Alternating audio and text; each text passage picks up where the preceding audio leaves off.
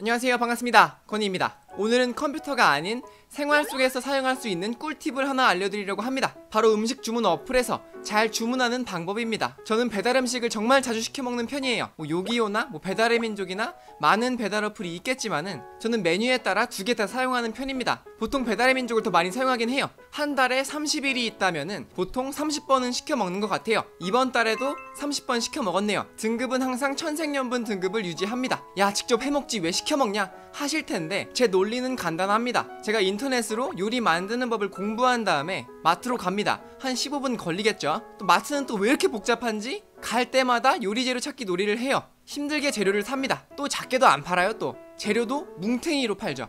한 번에 많이 사게 돼요. 가격도 배달 요리보다 항상 싸다고 할 수도 없죠. 그렇게 소비한 시간은 한 30분 정도. 집에 옵니다. 5분. 요리를 합니다. 20분. 요리를 먹어요. 그럼 어떻게 되죠? 맛이 없어요. 그럼 이 맛없는 요리를 먹기 위해서 제가 소비한 이 7, 80분의 시간은 누가 보상해줍니까? 억울하잖아요 그게 끝이에요? 아닙니다 설거지가 남아있습니다 맛없는 요리를 먹고 기분 나빠하는 비용이 70분에서 80분 크게는 100분까지도 걸리죠 반면 이 배달을 시키게 되면은 어플로 이 손가락 몇 번 움직이고 내 할 거 하다 보면 요리가 옵니다. 그죠? 내가 이 요리를 먹기 위해서 소비한 거는 배달료밖에 없어요. 음식도 맛있죠? 설거지도 필요 없죠? 이게 제가 배달 요리를 시켜 먹는 이유입니다.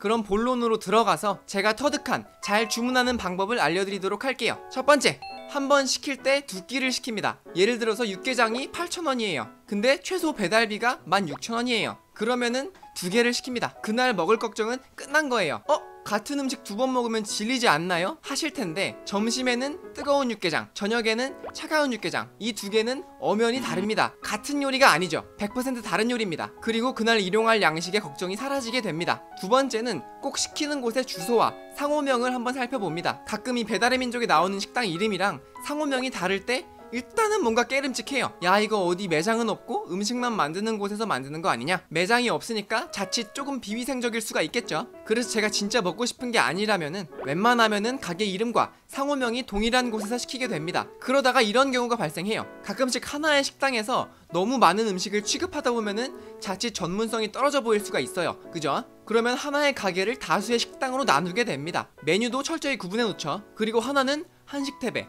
하나는 뭐 족발 보쌈 태배, 홍보 효과도 두 배가 돼요. 이런 경우가 종종 있습니다. 이 가게 이름만 봐서는 이 하나의 가게인지 두 개의 가게인지 헷갈리기 시작해요. 그러면 주소를 보면 알 수 있겠죠. 그리고 저는 지도 보는 걸 좋아하기 때문에 상호명을 확인하고 주소를 확인하고 이 나와 있는 주소로 꼭 네이버로 한번 방문해 봅니다. 직접 네이버로 보게 되면은 어 상호명이 다른데? 혹은 어 뭐야 식당이 아니라 가짜 주소네 하는 거죠. 물론 한 식당이 뭐 두 개, 세 개 식당으로 나눠진다고 해도 뭐 별로라고 할 수는 없어요. 그것도 하나의 전략이겠죠. 저희 동네에서는 하나의 식당이 세 개의 각자 다른 배달의 민족의 식당을 운영하는 곳이 있었어요. 하지만 셋 다 평점이 뭐 4.8, 4.9막 이렇게 좋은 식당도 있죠. 음식도 맛있고요. 그래서 직접 식당을 찾다 보면은 많은 정보를 얻을 수가 있습니다. 그리고 세 번째는 리뷰를 보는 거죠. 뭐 당연할 수도 있는데 제가 저번에 족발을 무심결에 시켰어요. 근데 예상 시간이 1시간이라고 하는데 뭐 1시간 반이 되도록 연락이 없는 거예요. 그래서 혹시 몰라서 리뷰를 봤는데 평점이 2점대였어요. 댓글을 보니까 뭐 다 배달이 늦는다라고 하길래 저 기다렸죠. 그리고 음식이 배달이 왔는데 뭐 상추나 마늘 같은 곳에서